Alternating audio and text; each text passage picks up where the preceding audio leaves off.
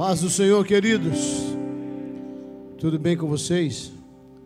Amém? Vocês estão bonitos até de máscara, viu? Essa igreja é uma bênção de Deus. Feliz de estar aqui nessa noite, juntos, congregados na presença do Senhor. Meus irmãos, vamos abrir nossa Bíblia. No livro de Jó, no capítulo de número 1 e no versículo de número 6, a palavra do Senhor temos um texto aqui para uma reflexão. Bendito seja o nome de Jesus.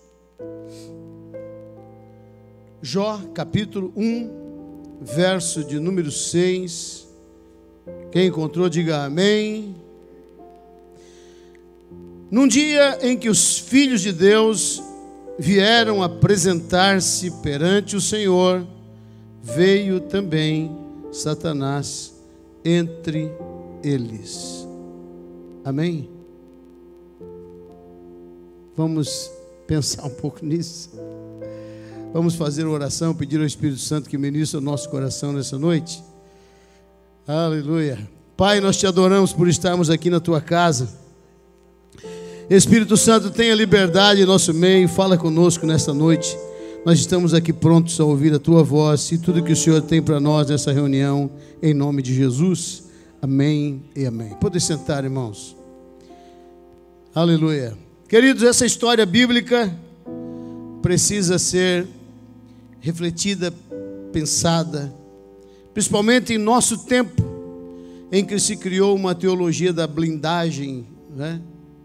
A teoria da blindagem, que ele fique quilômetros de distância e que ele não participe dessa reunião, enfim. Nosso adversário, ele é muito mais sagaz do que nós possamos imaginar. E suas ações, é, é lógico que a teologia, existem diversas discussões sobre isto. Essa reunião foi onde? É, não existe lugar né, em que Deus não esteja. Isso não quer dizer que ele estava diante do trono de Deus. Em qualquer lugar onde os anjos se reuniam, Deus percebeu a presença do adversário e Jó relata isso. E é interessante que essa reunião não era para tratar o tema Jó. Não era Jó que estava em pauta naquela reunião em que os anjos se reuniram.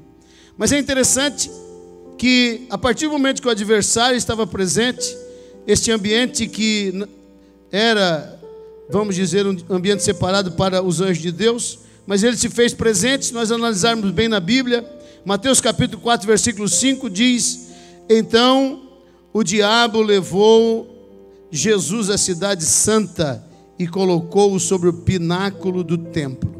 Então nós vamos ver que o nosso adversário, irmãos, ele vai sempre estar agindo, trabalhando, é, tentando impedir planos, tentando impedir projetos, tentando atrapalhar sonhos, tentando desfazer com aquilo que você é, tentando distorcer a sua imagem. E muitas vezes, irmãos, estas coisas realmente elas acabam por acontecer. Às vezes não nos preparamos para as aparições do adversário e ficamos ignorando o fato de que ele pode aparecer em nossas reuniões, ele pode aparecer em ambientes onde ele não é desejado, porque ninguém o deseja, mas a Bíblia diz: não deis lugar ao diabo. Se a Bíblia diz não deis lugar ao diabo, é porque ele está sempre procurando um espaço para interferir, para atrapalhar. É, não era necessário que o diabo tivesse no céu, no lugar onde está o trono de Deus, mas ele estava reunido com os santos, com os anjos, com aqueles que servem ao Senhor. Nossas reuniões, irmãos, elas podem ter surpresas. E é uma razão para nós vigiarmos mais, para vigiarmos mais. Ele não hesitará em distrair para acusar, para fazermos ver defeitos. Às vezes, uma reunião que é para ser um ambiente de adoração pode ser desviada para para um propósito, para um defeito, para algo que está errado.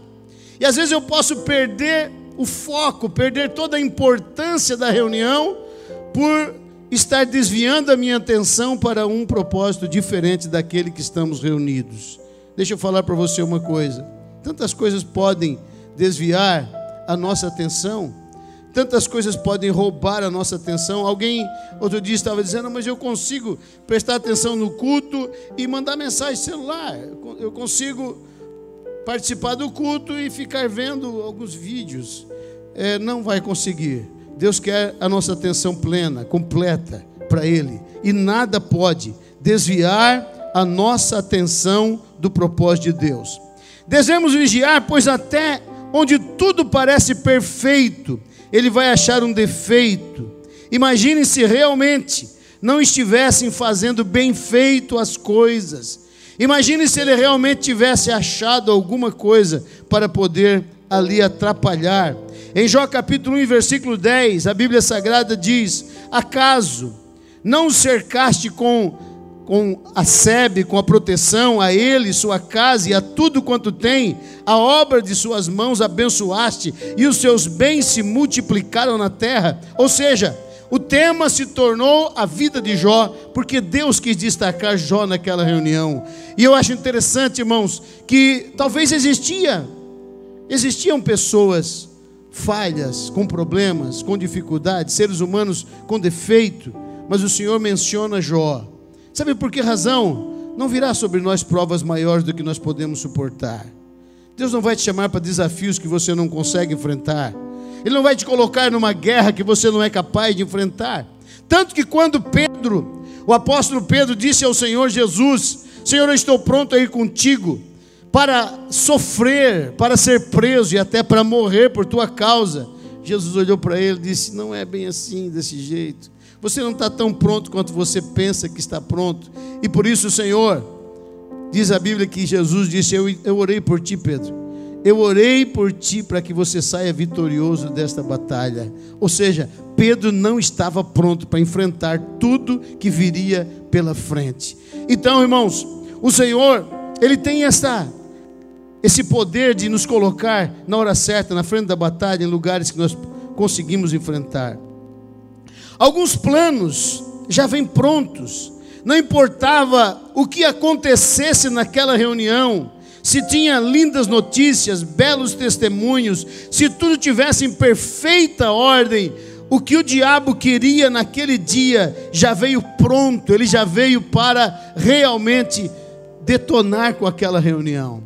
Ele veio para acusar, ele veio para realmente tirar o foco daqueles que estavam presentes naquele ambiente. Quantas vezes o adversário já tentou tirar o teu foco das coisas de Deus? Quantas vezes ele já tentou desviar sua atenção para acusações? Na vida de Jó, imagine só: Deus de um lado dando testemunho e do outro lado o diabo colocando as suas dúvidas. De um lado Deus dizendo: Você viu meu servo Jó? Viu como ele anda, viu como ele vive. Do outro lado, o diabo também, com tudo que você faz por ele. Irmãos, sempre haverá essa guerra no mundo espiritual. Sempre haverá essa batalha no mundo espiritual. Agora, uma coisa que nós precisamos entender. Em Jó capítulo 1, versículo 8, perguntou ainda o Senhor a Satanás: Observaste o meu servo Jó? Porque ninguém há na terra semelhante a ele homem íntegro e reto, temente a Deus, que se desvia do mal. Por que, que o Senhor destacou Jó?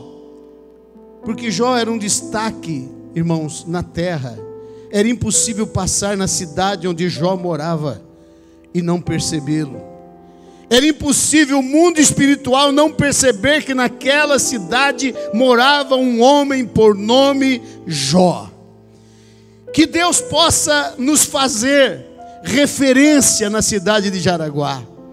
Que possa as pessoas que moram no prédio onde você mora, no bairro onde você mora, não viverem lá sem saber que lá tem alguém que serve ao Senhor de todo o coração e que é identificado e conhecido no céu. Aleluia. Porque ser conhecido no céu, irmãos, não é simplesmente um fator religioso, é muito mais do que isso. É muito mais do que fazer parte de uma religião é realmente tocar o céu com as nossas ações, tocar o céu com aquilo que somos, com a vida que temos, com o projeto que Deus tem na nossa vida. Interessante, quando o Senhor diz que perguntou se você não observou meu servo Jó, Deus, para encurtar a conversa e a presença dele no ambiente, já foi logo direto ao assunto, porque Deus, na sua onisciência, parece que já percebeu o que Satanás veio fazer. Parece que ele, Deus já estava sabendo que o diabo veio com a intenção de falar, talvez, de Jó, um homem abençoado.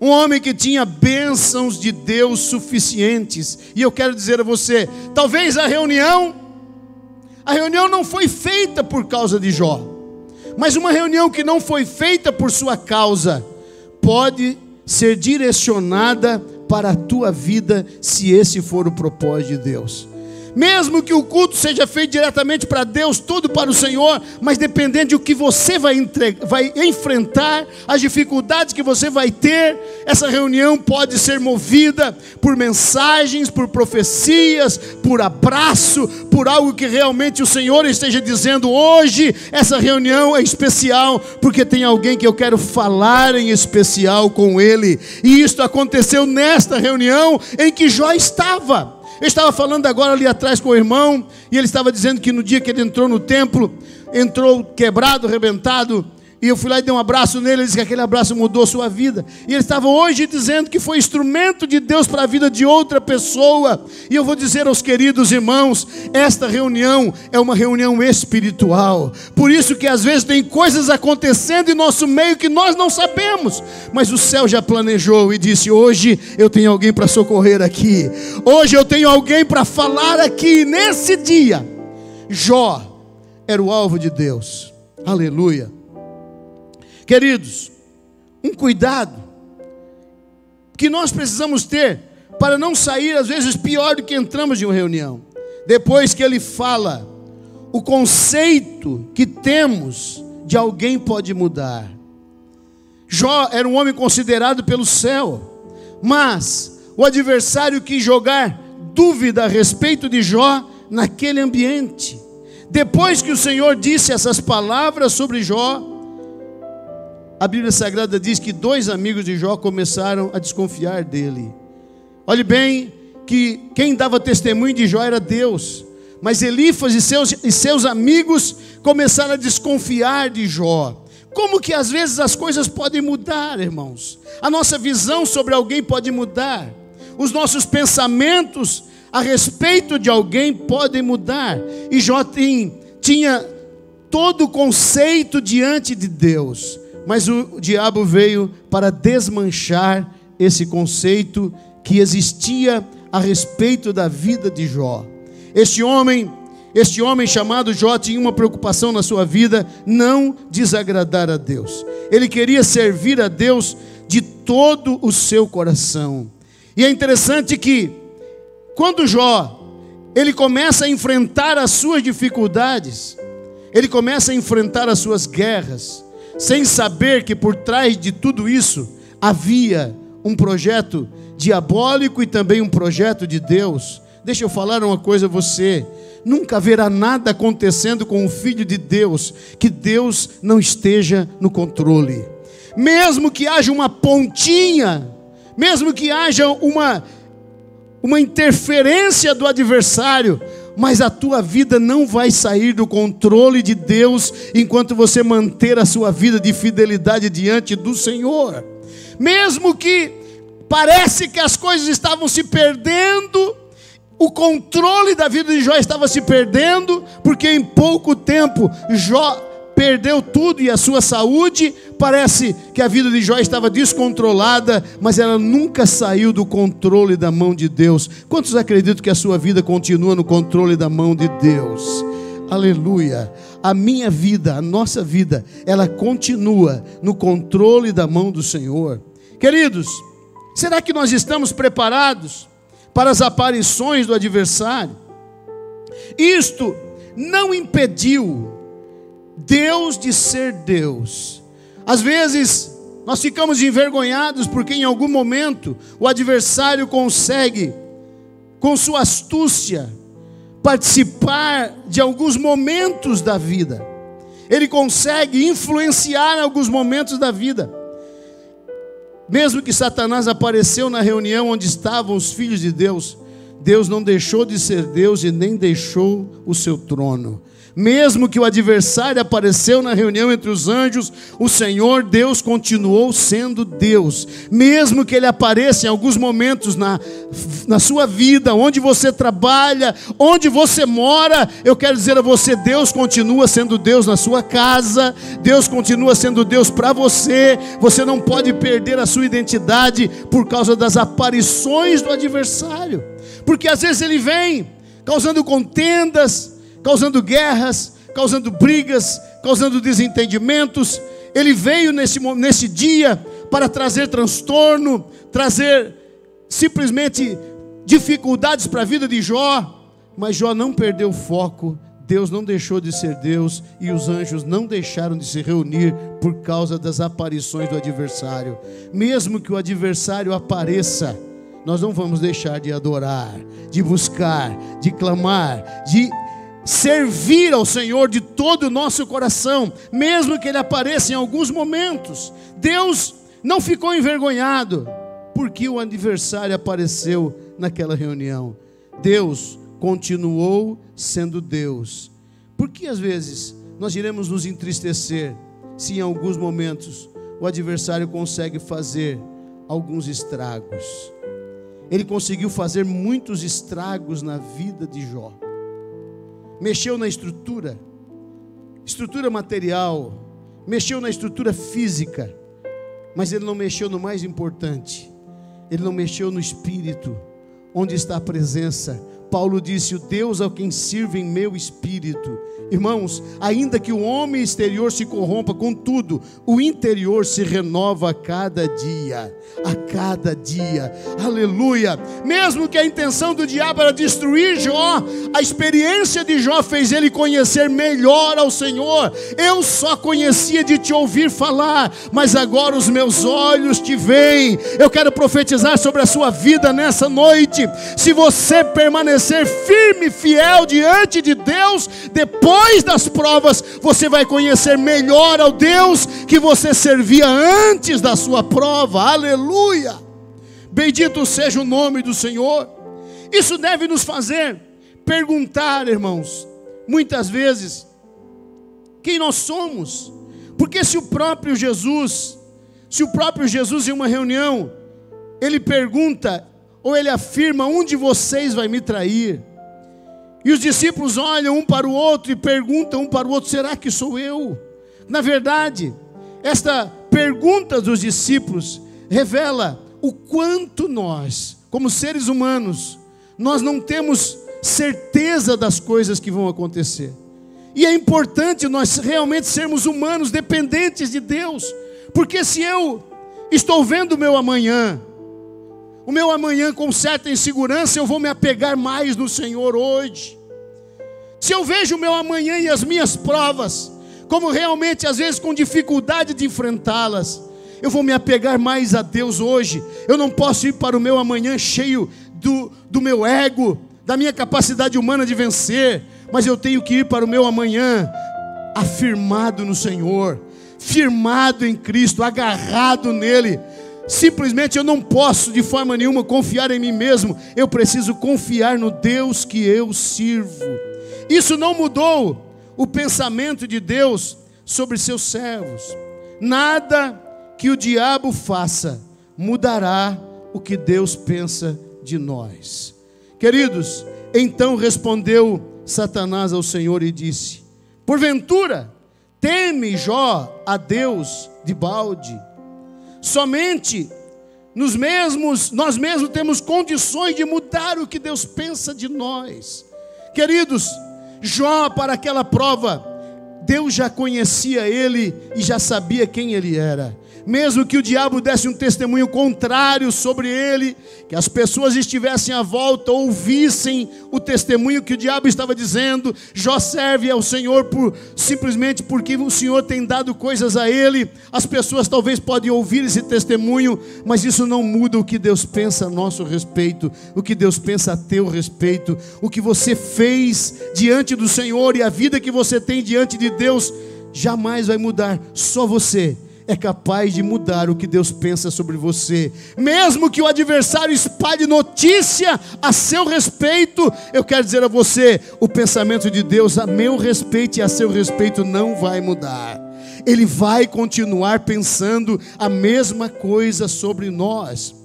Em Jó capítulo 1, versículo 11, o Senhor disse assim: Olha, é o seguinte, já que você está dando esse testemunho de Jó, estende, porém, a mão e toca-lhe em tudo quanto tem, e verás, se não blasfema contra ti na tua face. O adversário, ele desafia dizendo: se tu me permitir tocar nele, ele vai blasfemar de ti na tua face. Irmãos, nem sempre a proteção de Deus sobre nós é uma proteção plena, uma blindagem completa. Não, existe coisas que vão acontecer na nossa vida que fazem parte de plano, de projetos maiores do que nós podemos imaginar. Na vida de Jó, o projeto era maior do que ele poderia entender, do que ele poderia imaginar. Ele não sabia que o reino das trevas estava sendo desmascarado na vida dele. Ele não sabia que o reino das trevas estava sendo envergonhado na vida dele. E eu quero nessa noite dizer a você que veio essa reunião, talvez o diabo está sendo desmascarado e envergonhado na tua vida, no teu casamento, naquilo que você vivenciou, naquilo que você enfrentou. Talvez Satanás tinha dito, tenha pensado, ele vai passar por isso, vai abandonar a fé, vai abandonar a chamada, vai abandonar propósito mas eu tenho uma notícia boa para te dar. Nessa noite eu quero profetizar que o diabo foi envergonhado na tua vida, no teu ministério e na tua chamada. Aleluia! Bendito seja o nome do Senhor. Às vezes nós estamos pensando que é simplesmente sofrimento, mas Deus está dizendo não é mais do que sofrimento. É eu dizendo ao diabo: eu tenho homens fiéis. É Deus dizendo ao diabo: eu tenho mulheres fiéis. É Deus dizendo ao diabo: Ele não me serve só porque eu abençoei, Ele me serve muito mais do que isso.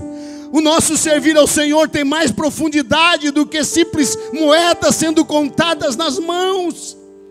Queridos, o nosso servir a Deus tem muito mais, muito, é muito mais profundo do que o cargo que você recebeu, do que a posição que você recebeu nessa cidade. E por esta razão que muitas vezes nós somos desafiados. E a nossa fé é desafiada, irmão. Aleluia. Ela é fortalecida pelo Senhor. Ou você acha que Jó enfrentou aquilo sozinho? Ou você acha que Jó enfrentou no osso do peito? Ou você acha que um homem teria capacidade de chegar ao nível que Jó chegou, vendo morrer todos os filhos, vendo perder todos os bens, e no osso do peito ele enfrentou tudo aquilo? Não, senhores. Por trás dele estava aquele que lhe garantia, estava aquele que lhe segurava, estava aquele que estava assinando a sua prova embaixo e dizendo: Ei, Jó, você não está sozinho nessa prova, rapaz. Eu estou com você. E sabe por que você está vencendo até agora? Porque o Senhor assinou embaixo a tua prova e disse: cada passo que você der, eu vou dar com você, eu piso contigo, eu venço contigo, e você não será vencido em nome de Jesus. O desafio não era de Jó, irmãos, o desafio era de Deus. O, Deus, o teu desafio não é teu, o teu desafio é de Deus, aleluia. É Deus que comprou a tua briga, é Deus que comprou a tua peleja, meu irmão. Não é desafio de homens, é desafio de deuses. Deus de um lado, Satanás que quer ser Deus do outro, mas só há um só Senhor, um só Deus, um que é Pai de todos, Senhor de todos, e é Ele que nós servimos. E eu quero dizer a você: maior é o que está conosco do que o que está do outro lado. Quantos podem adorar o Senhor nessa noite? Amém? Aleluia. Queridos, Deus sabe tudo sobre você. Tudo. O diabo vai inventar coisas sobre você. E vai ver se cola. E vai ver se dá certo. Deus sabia quem era Jó. O diabo chutava. Porque ele não conhece o nosso coração. Ele não consegue sondar o que há no seu coração. Coração é terra que só o Espírito Santo consegue penetrar. coração é só o Espírito Santo que consegue pisar. Queridos, o nosso culto precisa fazer com que o diabo não se sinta à vontade. Tire dele a oportunidade de encontrar espaço, pois é isso que ele busca: espaço. Espaço para tirar minha atenção, espaço para tirar minha adoração, espaço para tirar o meu propósito, espaço para que eu preste atenção nos defeitos, nos problemas e nas dificuldades. E é isso que o adversário tenta fazer. Mas é muito interessante, como o Senhor não está nem aí. Deus marcou a segunda reunião. E o diabo veio de novo, irmão. Ele veio de novo. A primeira tentativa não deu certo. Então, na segunda reunião, ele foi de novo, foi participar. E na segunda reunião, ele novamente, ele vem com a mesma história. Ele não pode mudar os nossos encontros com Deus. Que nenhuma aparição do nosso adversário possa nos impedir de estar reunidos com Deus novamente. Em Jó 1 e 6 ele aparece mas não impediu que os filhos de Deus se reunissem novamente. Em Jó capítulo 2, versículo 1. Vindo outro dia em que os filhos de Deus vieram apresentar-se, ele veio novamente. Não importa quantas vezes ele aparecer, ele não pode impedir o teu encontro com o teu Deus. Ele não pode impedir a tua comunhão com o teu Deus. Não importa se ele vai aparecer na reunião, importa que nós temos um compromisso com o Senhor. Diz a Bíblia Sagrada que quando Daniel foi desafiado a não encontrar com Deus, ele não se importou com os desafios. Três vezes ao dia ele costumava orar e foi orar como costumava fazer sempre. Que nada possa tirar a tua comunhão com o Senhor. Tem um desafio amanhã, ore hoje.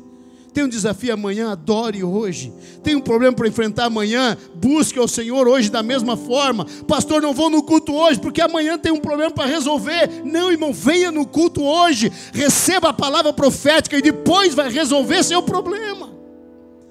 Eu lembro de um irmão lá em Caçador, irmão Osiel, que às vezes ele tinha problemas sérios para enfrentar na empresa, ele vinha no culto. E ele disse que Deus falava com ele no culto e levava a resposta para a empresa.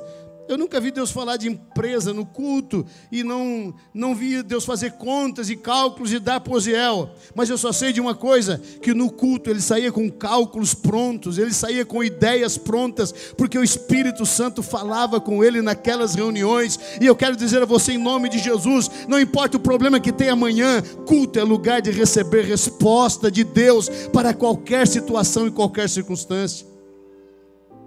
Queridos, ele não virá em todas as reuniões. Ele não foi a terceira reunião. Sabe por que razão? Ele tentou todas as todas as tentativas contra Jó, ele tentou. Todas as tentativas. Tirou os bens, tirou os filhos de Jó, a esposa ficou. Ele tentou na saúde de Jó, jogou Jó numa enfermidade, um caco de telha para raspar as feridas, nada mais sobrou, mas a fé de Jó estava intacta, sem se mover, sem ser mexida. Quando ele tirou tudo, não tinha mais onde mexer. Deus marcou o terceiro culto, mas daí o, o Satanás não foi. Não foi, sabe por que razão? Porque ele não conseguiu êxito. Ele não vai para ser envergonhado por isso ele não foi à terceira reunião. Até Deus queria que ele fosse. Eu quero nessa noite dizer a pessoas que estão aqui nessa reunião que o inimigo não veio participar dessa próxima reunião, porque as duas anteriores foram as reuniões da tua prova, foram as reuniões da tua dificuldade, foram as reuniões do teu enfrentamento, foram as reuniões em que o diabo pensou que ia envergonhar Deus através da sua vida. Mas eu quero nessa noite profetizar para você, para pessoas que vieram neste culto e nessa reunião, o Espírito Santo me manda profetizar sobre a sua vida, que você honrou a Deus naquela prova que o Senhor te permitiu passar. Aleluia! E nesta noite, o Senhor está aqui junto com você nessa reunião, dizendo: Filho, eu sou o Deus que permito a prova, mas eu sou o Deus que dou vitória na prova. Tudo que o adversário tirou de Jó, Deus devolveu a ele. E nessa noite eu profetizo sobre a sua vida: Deus não ficará perdendo, ele sairá ganhando através da sua vida, e ele vai ser glorificado na sua vida, diz o Senhor para você nessa noite. Terceira reunião ele não foi. Sabe por que razão? Na terceira reunião, era a reunião de Deus e os anjos. E o Senhor, na terceira reunião, ele moveu o céu para mover corações. Diz a Bíblia que as pessoas se moveram para abençoar Jó. De todo lado foi vindo presentes para Jó. As pessoas se moveram para dar a Jó dar ouro, dar prata, e foram entregando para Jó. Diz a Bíblia que a riqueza de Jó se tornou quatro vezes maior do que ele tinha anteriormente, e não pelo seu trabalho, não pelo seu esforço, mas o céu se moveu para retribuir a vida de Jó por sua fidelidade e fé. E eu quero dizer nessa noite, em nome de Jesus, o céu está se movendo na vida de alguém que está nessa reunião, que veio este culto. Você não vai abençoar, o Senhor Deus providenciará coisas para vidas que estão aqui nessa noite, e você vai dizer: de onde veio isso? E eu quero profetizar sobre a sua vida. Em tempo de crise é tempo do céu se mover, e o céu se moverá sobre a tua vida e sobre a tua casa, diz o Senhor para você nessa noite. Você perdeu, perdeu, pastor. Não chore pelo que perdeu, se alegre pelo que Deus vai te dar. Não fique lamentando pelo que foi tirado, fique agradecendo pelo que Ele vai te entregar. Não fique sonhando à noite os sonhos do passado, mas fique tendo uma visão do futuro, porque Deus tem coisas melhores para fazer na tua vida e na tua casa. Aleluia. Fique de pé, meu irmão, porque eu quero orar nessa noite. Aleluia. Não era esta mensagem que eu tinha para trazer aqui hoje. Mas eu sei de uma coisa. Eu estou profetizando sobre alguém que veio a essa reunião aqui hoje. Aleluia. Aleluia. Por alguém que passou dias difíceis, dias angustiantes, dias complexos. O adversário estava nesta prova, neste vento e nessa dificuldade. Mas ele acabou de sair do páreo. Porque Deus está entregando a você nessa noite esta mensagem a vitória foi dada a você. Prepare para a colheita. Prepare para a colheita que Deus tem para você. Quantos crê? Eu quero orar por você nessa noite. Você que crê que o Espírito Santo de Deus te trouxe a esse culto.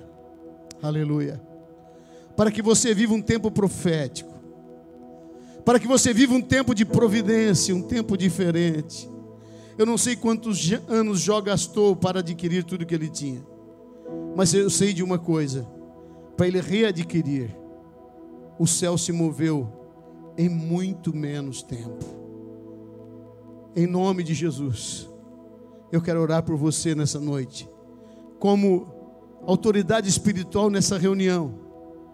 Eu quero dizer a você, em nome de Jesus, te prepare, porque o céu vai se mover sobre a sua vida e sobre a tua casa. Você não vai ter mais saudade do teu passado, diz o Senhor para você. Você não vai ter saudade daquele tempo que você de vez em quando diz: Ah, meu Deus, aquele tempo. Não. Você vai começar a olhar para o futuro nessa noite. Porque as coisas que Deus tem para você é maior do que aquelas que você já experimentou.